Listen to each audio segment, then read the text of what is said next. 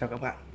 Ê, Hôm nay mình xin uh, giới thiệu cho các bạn cách reset cái hộp mực hay còn gọi là cái cắt trích mực browser TN2385 thì cái, cái reset cứng này rất là đơn giản để xử lý các cái trường hợp lỗi báo như replace toner hay là cho trường hợp bị không in được. Do hết mực. Thì các bạn để ý này. Ở đây uh, có hai cái vít. Mình sẽ tháo hai cái vít này ra. Và các bạn để ý này, cái uh, bánh răng hướng của bánh răng. Nó đang ở hướng bên này giờ mình sẽ tháo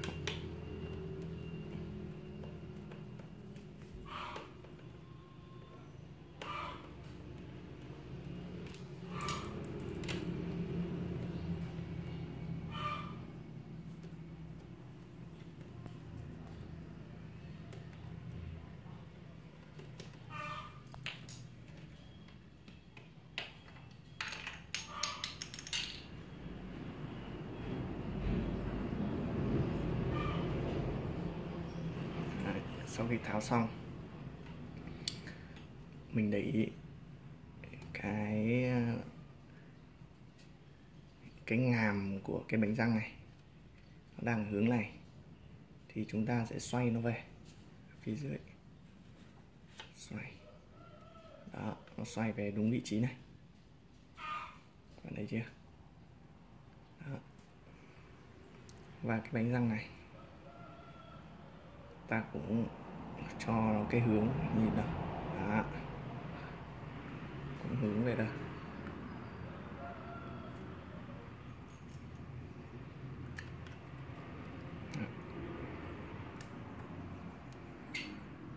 Đó. Lắp lại. Rồi, các bạn để ý này.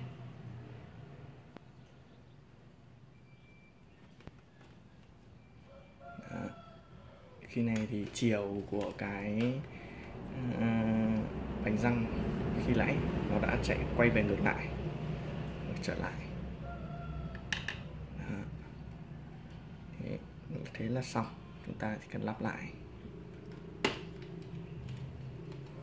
Cho vào là in được.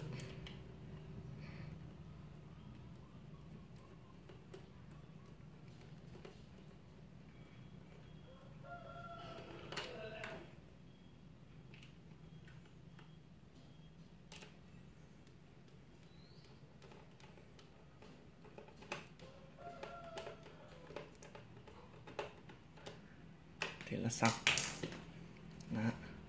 mình thì cái cắt trích này nó sẽ dùng cho hà, hai dòng máy. Browser 2360 2361 và dòng máy à, vừa in vừa kem. 2700 2700 rồi, xong. Xin chào và tạm biệt các bạn. Cảm ơn các bạn.